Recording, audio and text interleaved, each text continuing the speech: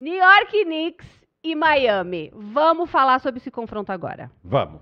correto? É, não vou nem. Ai, que ó.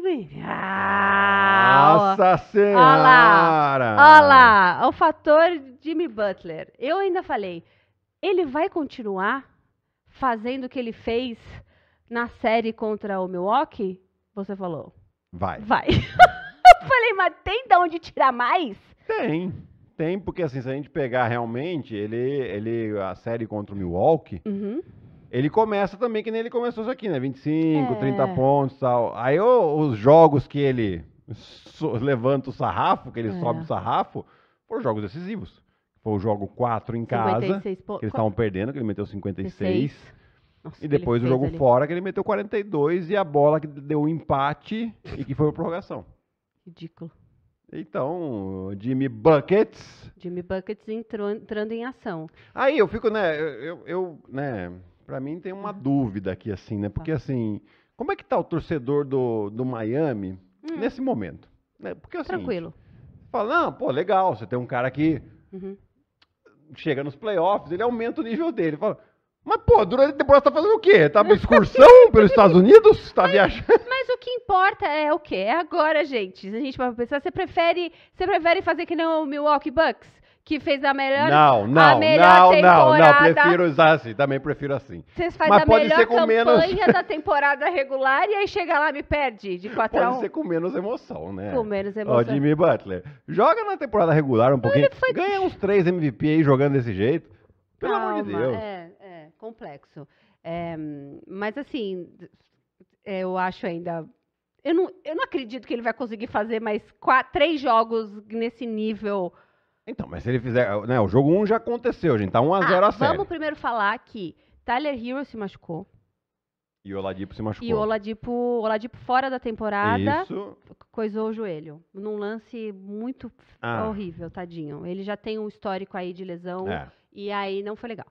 E o Tyler Hill quebrou a mão, né? Tipo, num lance Sim. de recuperação de bola, caído no chão. Então, assim, eles, o, o Miami já tá sem duas peças importantes que entravam na rotação, porque o Ladipo tava entrando ali no final, né? Na Sim. rotação. E mesmo assim eles conseguiram se reestruturar. Aí a gente tem. Os Boston é muito, muito incrível, né? O É. técnico. A gente já tinha falado. Isso eu não, não lembro. Eu lembro que a gente.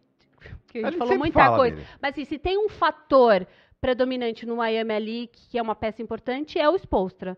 Que ele vai resolver o. Ele vai se ajustando muito bem. E o ele- Miami se ajustou muito ao jogo do É, Milwaukee, porque assim, né? ele tinha tirado Ah. o Duncan Robinson da rotação. Tá. Desde o playoff da temporada passada. Uhum. É, porque né, tava, tava sendo um problema na defesa e tal. E aí agora ele precisou do cara. E o cara também tem naquela, na cabeça do jogador ali, ele fala, bom, eu já sei porque que eu saí da rotação, eu não quero ficar fora. Tá. Por quê? Então aí ele começa a fazer o esforço defensivo. Isso quer dizer que ele vai ser o melhor jogador de defesa da equipe? Tá. Não. Mas ele vai tentar não dar tanto prejuízo. Só lembrando, eu não sei se a gente falou isso, já tá 1 a 0 nessa série, Sim, né? é. Essa série já aconteceu. Desculpa se a gente, se eu tô repetindo. Então já tá 1 a 0 pro Miami. Vai, o jogo amanhã acho que tem jogo, né? A gente esse programa é praticamente ao vivo. A gente tá Isso. gravando de manhã, tá saindo à noite. Então assim, então a gente vai ver hoje o jogo, nem sei não, amanhã. Na terça-feira, o Terça-feira. jogo 2. Então, assim, que que- o que, que o New York Knicks tem que fazer de diferente desse jogo? Que esse jogo a gente teve um Jimmy Butler que nem que jogou bem, ele, ele torceu o pé, pa- aparentemente, mas voltou, não foi nada demais. É, não sabemos o ainda. né? Lowry, o Lowry entrou super bem. Era um. O que que você tá olhando pra mim? Não, nada. Tô, Ah, tá. Eu falei, será que eu falei muito Não, coisa não. errada? É, o Kevin Love, que tá entrando em momentos. Nem tá fazendo tanto, fez o quê? Nove pontos? Quantos pontos? É, ele não jogou tanto, né? Mas É. ele teve três passes de touchdown. Absurdo. É, exato. Tá confundindo De pegar o esportes? rebote, não, de pegar o rebote e jogar num passo Sim, só, o cara o companheiro bandeja. Sim, É, enterrada, enfim. é, é. É, então, assim, não jogou tantos minutos, mas ele jogou bem. Tá. né? E como ele vem jogando bem nos Sim, playoffs, né? Com qualidade e com experiência. A verdade é que o New York Knicks, esse jogo, ficou sem o Julius Randle. Isso. Julius Randle torceu o pé no último jogo Contra o Cleveland. contra o Cleveland. E não voltou, né? Então a gente não sabe, ele é meio dúvida pra. Eu acho que volta no outro jogo já, viu? Tem que voltar, né? Não tá. Tem, porque assim, é, uma das vantagens que o, que o Knicks Uhum. tem que tirar proveito é a questão dos rebotes, né? Eles tiraram muito, muita vantagem contra Cleveland. Sim. É, foi inclusive uma das, das, das chaves da série, né? Então tem que ser mais agressivo nesse rebote. O Julius Randle é um desses jogadores, junto com o Mitchell Robinson. Uhum. Obviamente, melhorar aproveitamento de três pontos, né, que foi muito, Muito ruim, ruim, né? É. muito ruim. E baixar o volume de três pontos do Miami.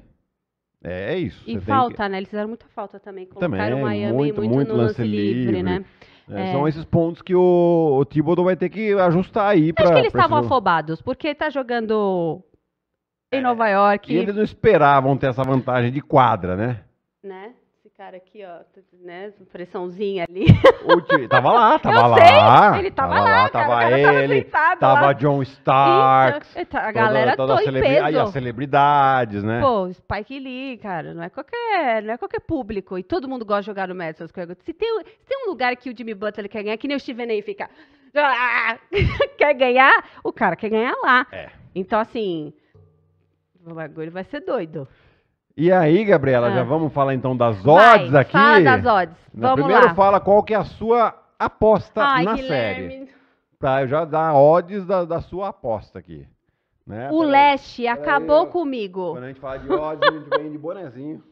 O Leste acabou o, meu- o meu bracket. Eu tinha certeza que eu ia. Eu tinha certeza que o Oeste eu ia errar muita coisa. Porque a gente não sabia, a gente tinha lá um Lakers. Mas tinha- erramos menos. Erramos menos. Agora o Leste já acabou com a gente. Acabou. Acabou comigo. Mas eu vou manter. Eu tô vendo que vai ser difícil. Eu vou manter New York Knicks em 7. Em 7, então nós estamos juntos nessa, porque eu também acho que New York Knicks vai empatar, Ah. vai ser uma série longa, e esse jogo vai chegar no jogo 7 lá no Madison. Madison, aí. A cidade Aí vai eu vou parar. Aí eu vou falar, pelo Comprar amor uma de Deus. passagem de, de avião. Vou.